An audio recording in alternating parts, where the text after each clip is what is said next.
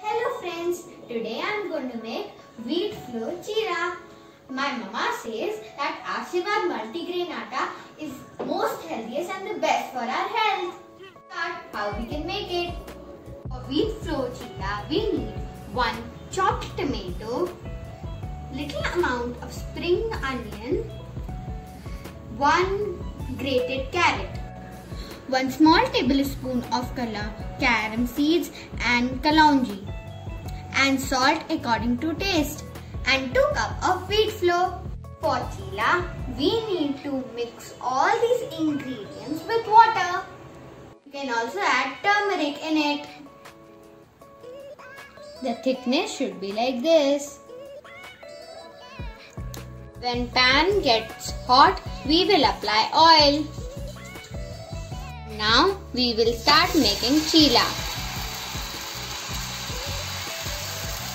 Now bake it from both sides. Now you can see that your chila is ready to serve.